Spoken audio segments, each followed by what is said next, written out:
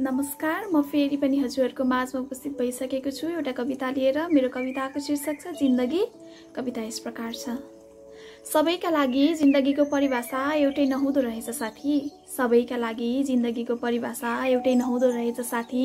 कसैका लागि सुखद संसार हो जिन्दगी अनि कसैका लागि दुःखको सागर हो जिन्दगी।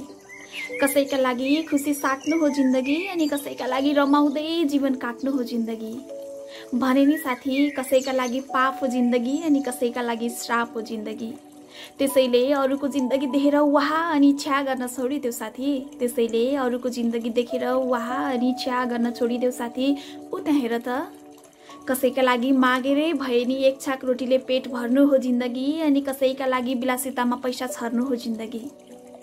जिन्दगीले परिस्थिति अनि समयलाई परिभाषित गर्दछ साथी। त्यसैले त कसैका लागि आफू मेटिएर अरूलाई बनाउनु हो जिन्दगी अनि कसैका लागि अरूलाई मेटाएर आफूलाई पाउनु हो जिन्दगी। आमाको लागि आफू नखाएरै भए पनि छोराछोरीको भोक मेटाउनु हो जिन्दगी।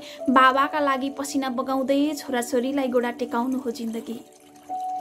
बालकलाई मिठो खाना अनि राम्रो नाना लाएर खुसी साट्नु हो जिन्दगी अनि वृद्धलाई सजिलै स्वर्ग जाने आसमा दिन काट्नु हो जिन्दगी। त्यसैले त जहाँसम्म लाग्छ जिन्दगीलाई परिभाषित गर्ने शब्द नै छैन। किनकि मान्छेको परिस्थिति सोच समय र सङ्घर्षले निर्धारण गर्दछ जिन्दगीको परिभाषा। त्यसैले त कसैका लागि वाह हो जिन्दगी अनि कसैका लागि छ्या हो जिन्दगी। कसैको लागि मिठो फुल हो जिन्दगी कसैको लागि नमिठो भुल हो जिन्दगी। जिन्दगी भयो साथी। जिन्दगीलाई मैले चाहिँ परिभाषित गर्न सक्दिनँ अब। किनकि जीवन पर्यन्त पनि अनन्त हो जिन्दगी। जीवन पर्यन्त पनि अनन्त हो जिन्दगी। Thank you